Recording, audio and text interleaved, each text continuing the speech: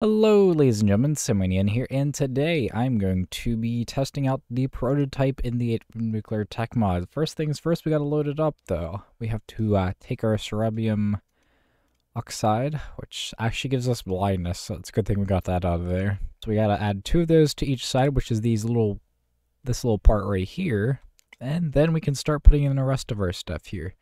The leg goes in this gray area right here, the uranium goes on the outside right here.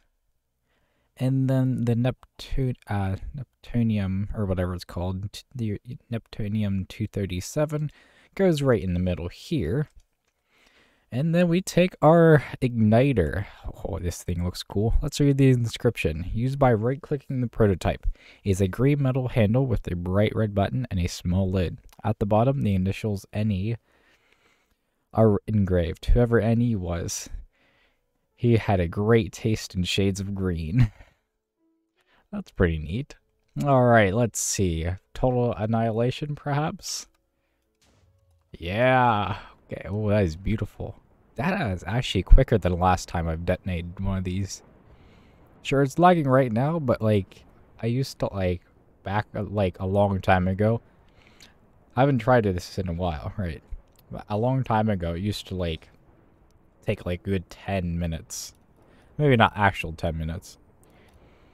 Which if I just fly around here? Yeah, look how much stuff is just like taking out.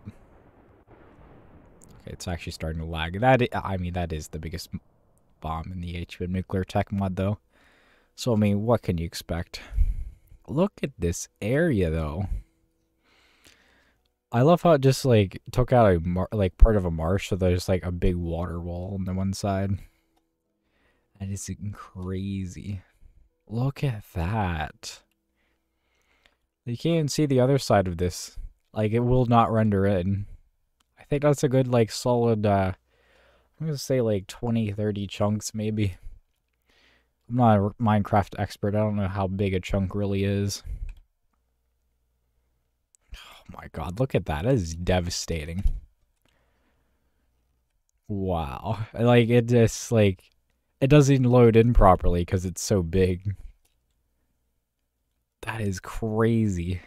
Well, anyway, I hope you guys enjoyed this video. If you guys liked it, please like and subscribe, and I will see you guys in the next one. Goodbye.